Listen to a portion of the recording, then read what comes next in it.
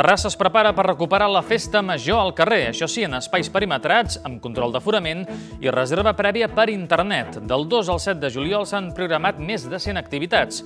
Aquesta edició s'ha qualificat com la festa major de la tornada a la normalitat i, a més, sense mascareta a l'aire lliure.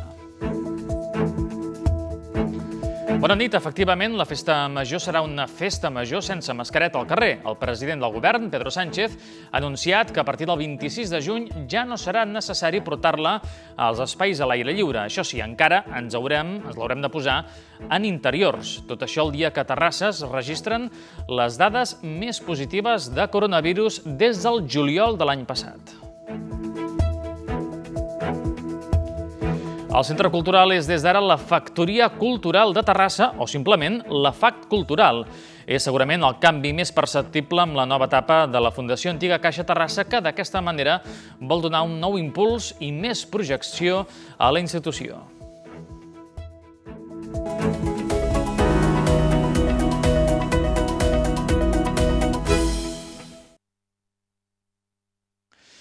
Aquest matí s'ha presentat oficialment la Festa Major de Terrassa 2021. És una festa major que recupera la presencialitat, els actes tradicionals i els grans concerts, però que encara imposa eh, mesures de restricció per limitar aforaments. Amb tot, serà una festa major sense mascareta a l'aire lliure. Terrassa es prepara per recuperar la festa major al carrer, això sí, en espais perimetrats, amb control d'aforament i reserva prèvia al web festamajorterrassa.cat, actiu a partir de dilluns. Així, del 2 al 7 de juliol s'han programat més de 100 activitats adaptades a les circumstàncies actuals. Després de l'edició confinada de l'any passat, aquesta s'ha qualificat com la festa major de la tornada a la normalitat i, a més, sense mascareta a l'aire lliure. Els detalls s'han donat a conèixer aquest divendres al migdia al Castell Cartoixa de Vallparadís. La programació de la Festa Major que avui eh, presentem no és la Festa Major que totes i tots voldríem, però sí que, sens dubte, ens marca el camí de la recuperació i de poder tornar-nos a trobar als carrers, a veure'ns les cares o a poder-nos abraçar com abans. Seguint els protocols, la festa comença divendres amb l'encesa del Ciri al drac, que no farà el recorregut habitual, i la lectura del pregó a càrrec de l'historiador i agitador cultural Domènec Ferran. Ell també és capdidat a Cap Gros de l'any. El Raval serà l'escenari d'aquest inici de la programació, però amb aforament limitat i reserva. Canal Terrassa ho transmet en directe per a la ciutadania ciutadania que no pugui assistir-hi. El Raval Infernal celebra 40 anys, però no està obert al públic i es podrà seguir a través de les xarxes. Divendres a dos quarts d'onze de la nit. Diumenge, la plaça Vella és l'escenari dels principals actes, que també es podran veure per la televisió municipal, com el Ball de Plaça. El penó de la ciutat el porta el Club de Tenis Terrassa, que celebra un segle de trajectòria. La Diada Castellera al Raval amb pilars i sense públic. L'Estadi Olímpic serà l'escenari dels grans concerts i també acollirà la programació del jove. Aquí hi actuaran Miqui Núñez, Doctor Prats, Lildami o Sense Sal. La banda sonora de la festa, més terrassenca que mai, també està formada per Gemma Humet, Mabel Flores o Doctor Basilio, que ha amenitzat la presentació de la festa, entre molts altres. Al Parc de Sant Jordi es desenvolupen les activitats infantils i familiars. Al pati de l'Escola Pia, les vinculades a la cultura popular i a Can Jofresa, l'Espai Vapor.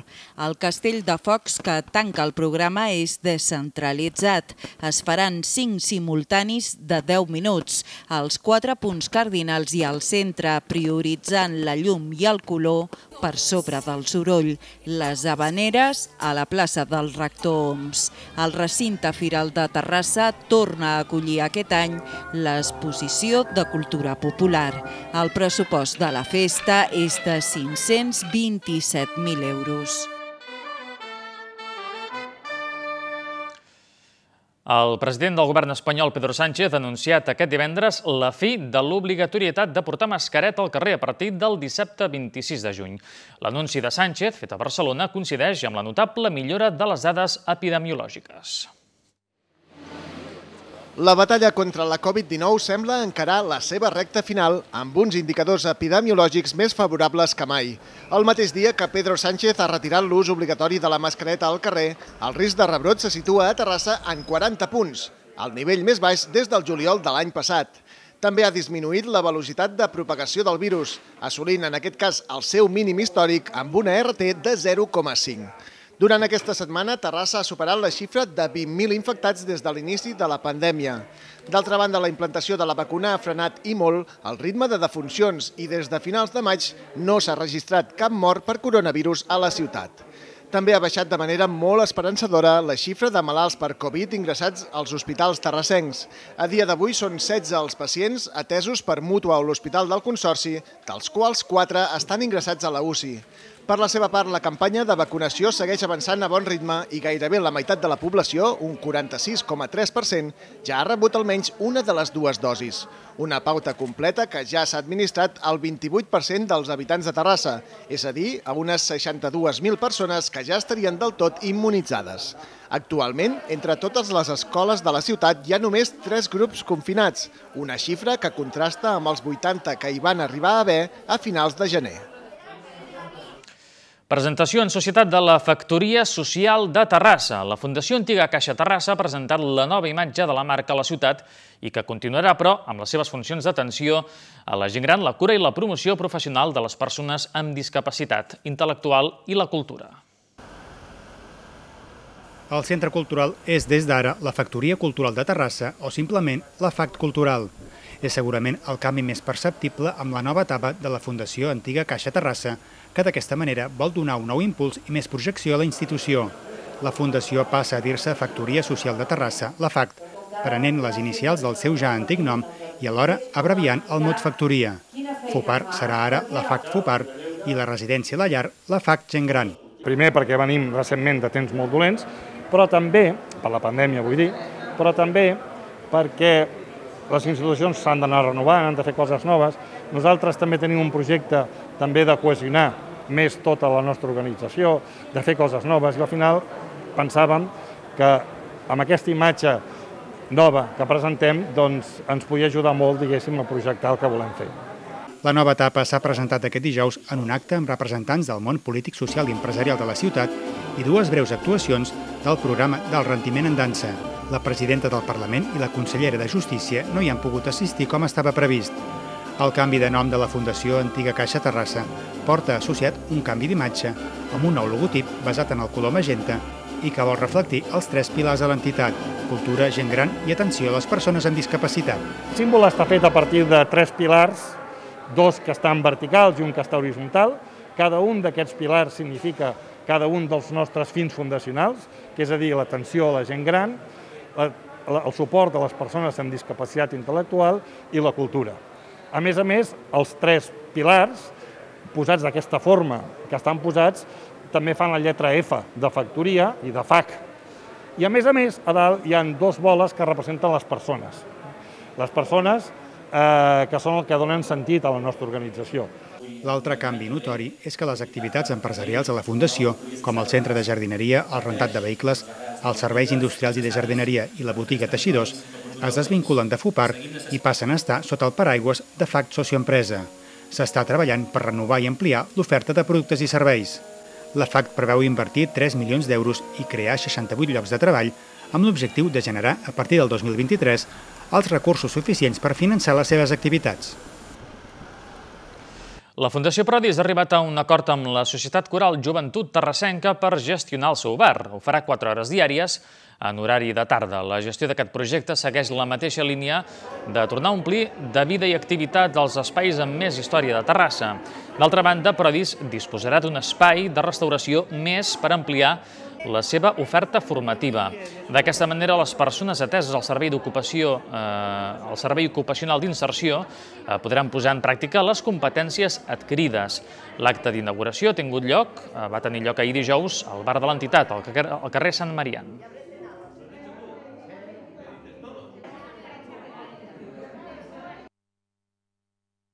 Entenem que nosaltres aportem aquest valor en un espai d'una entitat cultural com és en aquest cas la del Corovell i que les dues entitats, a partir d'aquí, comencem a caminar de la mà i a poder compartir projectes. Bueno, ja, ja tenia els seus anys, ja es havia la, fa potser, si no 50, més de 40 anys que se li va fer l'última reforma, és que havia quedat una miqueta endarrerit, i bueno, ara gràcies a Prodis doncs això ha agafat un altre caire.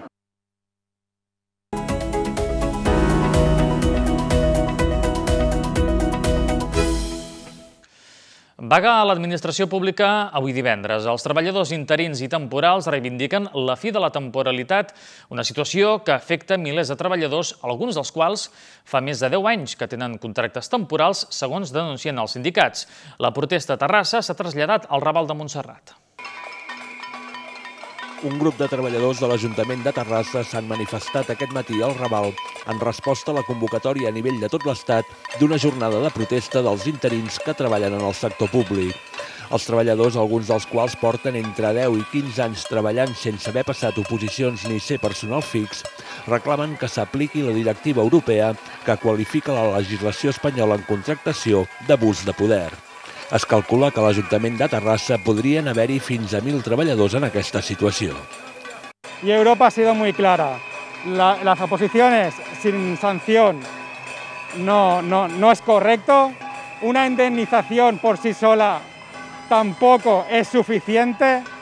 Así que ante esta falta de, de legislación que sancione el abuso, nosotros lo que pedimos es la estabilidad eh, en nuestros puestos hasta nuestra jubilación. Gente que lleva 10, 15, 20, 25 años de trabajo temporal sin ningún, o sea, con un despido libre y gratuito en cualquier momento. En cualquier momento la administración puede cesarlo. El problema s'estén a totes les administracions públiques amb uns 900.000 treballadors a tot l'estat de personal interí. Totes les administracions han abusat d'una contractació que crea desigualtats entre els treballadors. El personal interí considera que la convocatòria d'oposicions no soluciona el problema si abans no resol aquesta situació. Per això reclamen estabilitat en el seu lloc de treball passant a ser personal fix i que després es regularitzi bé l'accés a la funció pública.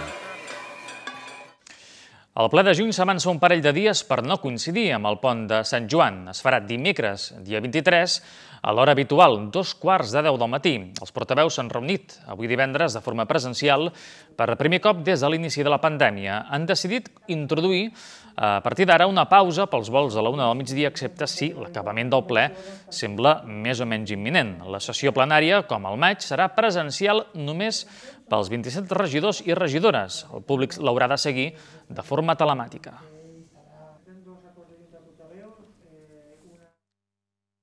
Terrassa habilitarà una pantalla gegant per seguir els partits de la selecció espanyola de futbol a l'Eurocopa.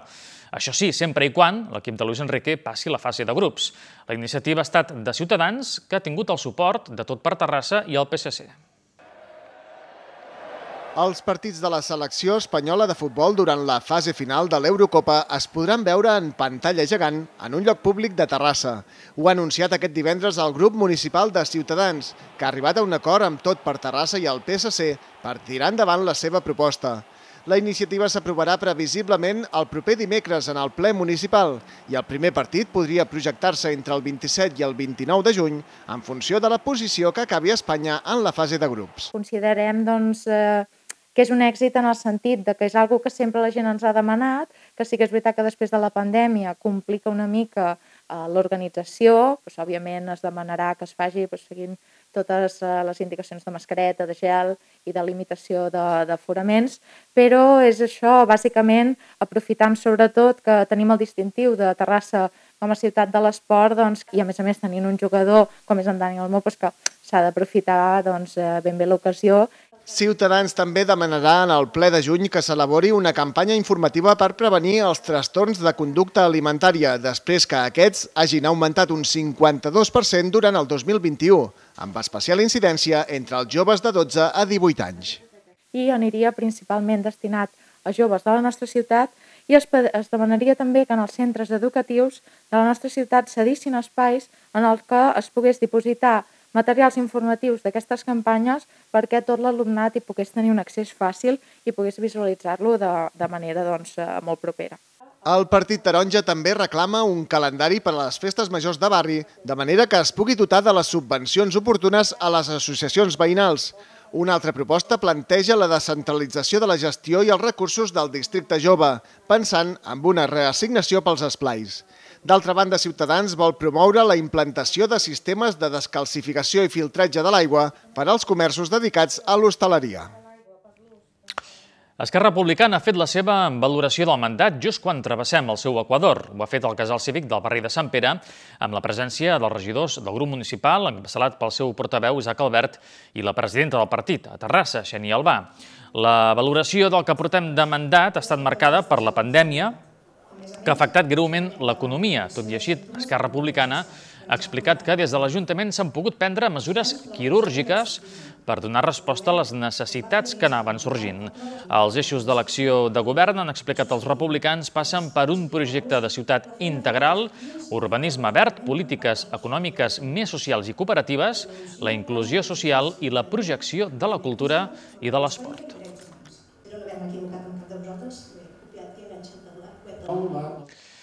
El Parc Natural de Sant Llorenç del Munt i l'Ubac és ara mateix un dels espais forestals amb més risc d'incendi de les comarques de Barcelona. La Diputació ha presentat avui divendres el Pla d'Informació i Vigilància contra Incendis Forestals, una campanya que es mantindrà activada fins l'1 de setembre. Hi participen més de 270 ajuntaments, entre ells el de Terrassa, i més de 130 entitats de defensa forestal. Les baixes precipitacions dels darrers mesos i l'alta quantitat de massa forestal acumulada al sotabosc apunten a un estiu complicat pel que fa a incendis. La Diputació fa una crida a la prudència i qualifica els boscos de la Catalunya central com els punts més calents, Sant Llorenç del Munt inclòs. Els punts calents bàsicament és la Catalunya central. Eh? La Noia, l'Alta Sagarra, el Bages, eh, Sant Llorenç, evidentment, Collserola, eh?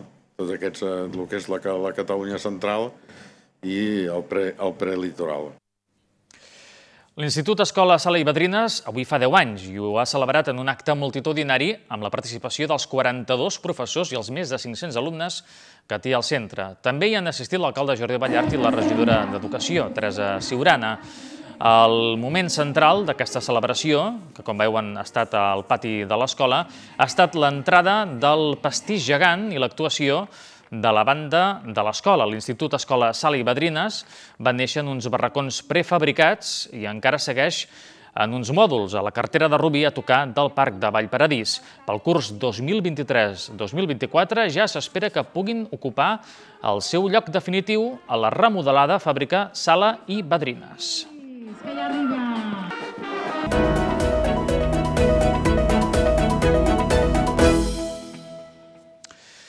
Primers dies de mandat del nou president del Club Natació Terrassa, Joan Herrera, després d'un traumàtic procés electoral que ha evidenciat les diferències notòries entre la Junta sortint i l'entrant. D'entrada, Herrera ha aixecat la catifa i s'ha trobat amb una situació econòmica deficitària, però assegura que amb el pla estratègic redreçarà el club.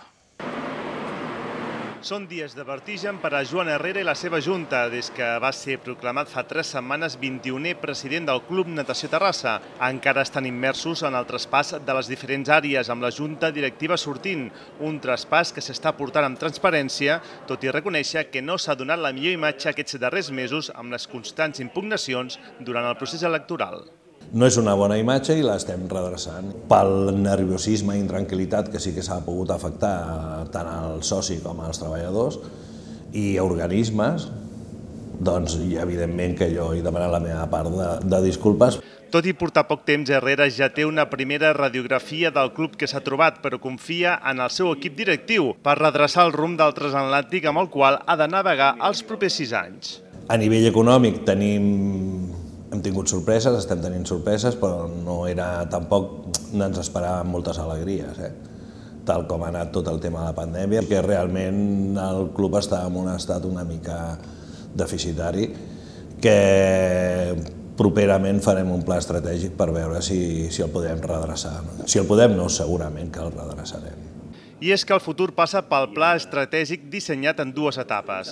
En els primers tres anys hi haurà un control i reducció de la despesa per no caure en un nou exercici deficitari.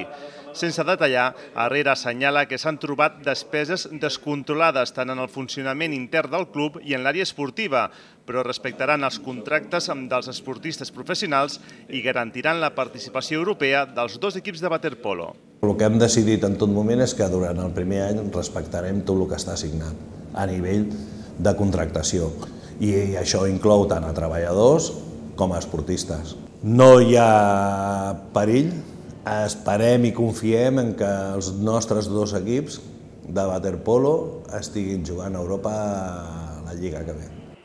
La recuperació econòmica passa també per incrementar la massa social. S'estan fent campanyes de promoció i des del febrer hi ha hagut més de 2.000 altes, situant el nombre de socis en 13.220, tot i que es necessita arribar a les xifres prepandèmia, uns 16.000, perquè el Club Natació Terrassa sigui autosuficient. En el capítol d'inversions, la nova piscina de 25 metres, projecte que va engegar l'anterior Junta i del qual ja es té el projecte bàsic, no és prioritària perquè s'ha d'invertir en mantenir i modernitzar les actuals instal·lacions. D'agafar una mica d'aire? El centre parroquial Sant Cristóbal ha fet públic la renovació d'un dels seus capitans, l'agarenc Òscar Sierra, que s'afegeix a la de Mario Cantí d'aquesta setmana. Serà la tercera temporada del lateral dret a les files parroquials, un dels jugadors més utilitzats per Oliver Vallabriga i que ha tingut una destacada actuació realitzadora aquesta campanya. Sierra, que al setembre farà 40 anys, ha estat l'autor de quatre dianes, convertint-se en un dels màxims golejadors del seu equip. Segueix, doncs, perfilant-se la plantilla d'un Sant Cristóbal que negocia l'arribada del defensa exterracista David López. L'agrenc de 34 anys ha jugat aquesta darrera temporada a l'Igualada de la tercera divisió.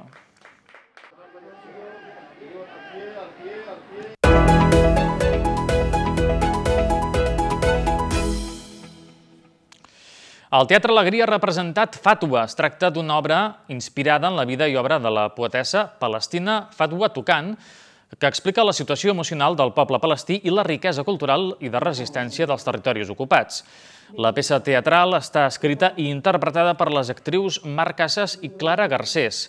Fatwa va ser una de les pioneres en l'ús del vers lliure de la poesia àrab. En els seus primers escrits parla de la seva lluita personal com a dona en la societat àrab. A partir del 1967, amb l'ocupació dels territoris palestins després de la Guerra dels Sis Dies, la seva obra es va decantar sobretot per la poesia patriòtica nacionalista des d'una perspectiva reivindicativa.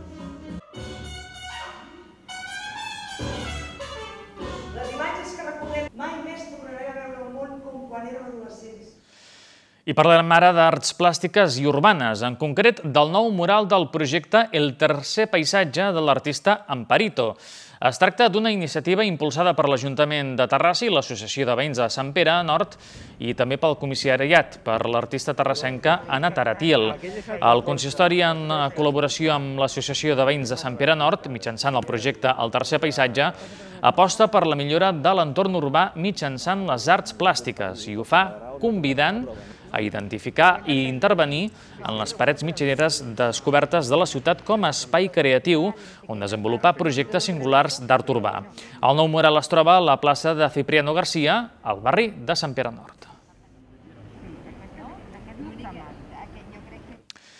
El 40è Festival de Jazz de Terrassa ha baixat finalment el taló amb un darrer concert a la nova Jascava amb la presència de Teo, de Teo Hill Trio i Jeremy Pelt. El recital formava part de l'aposta per les escenes emergents de qualitat de la mà de Teo Hill. Nascut a Nova York, el jove pianista ha recorregut mig món com a membre de la Demingus Big Band, la Big Band de Charles Tolliver o la de Josh Evans Big Band la seva darrera aventura com a líder de la companyia a Terrassa amb la trompeta de Jeremy Pelt. El californià domina a la perfecció els formats acústic i elèctric, demostrant una formidable versatilitat. La banda la completen dos músics més, Aimin Salem i el contrabaix Mark Whitfield Jr.